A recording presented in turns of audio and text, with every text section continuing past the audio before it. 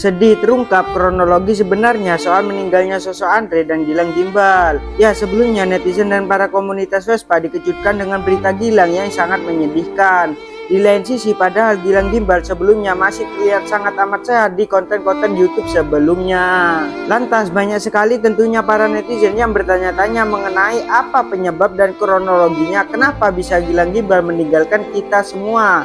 Apakah sakit atau ada hal janggal lainnya? Nah setelah diketahui ternyata banyak sekali netizen yang berkata Gilang Gimbal dan Andre ini meninggal dunia karena adanya kasus pengeroyokan oleh anak jalanan.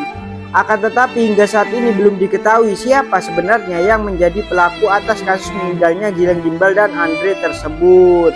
Namun banyak dari netizen yang meyakini bahwa pelakunya adalah orang yang ada di foto ini. Sudah banyak sekali yang menyebarkan minta tolong untuk menangkap sosok tersebut.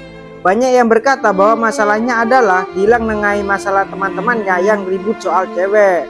Niat Gilang biar tidak bertengkar hanya gara-gara perempuan. Akan tetapi mungkin marah atau gimana malah Gilang dan Andre yang mengalami kabar buruk ini.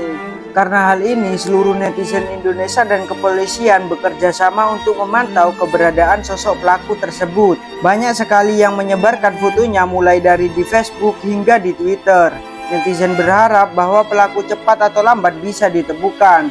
Pada informasinya, kabar terakhir pelaku ada di Pelabuhan Bakau Henip, Lampung.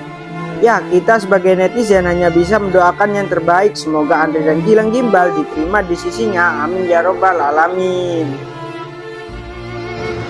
Eh, lu jangan sosok tahu lu kalau nggak suka sama kita orang, Sero.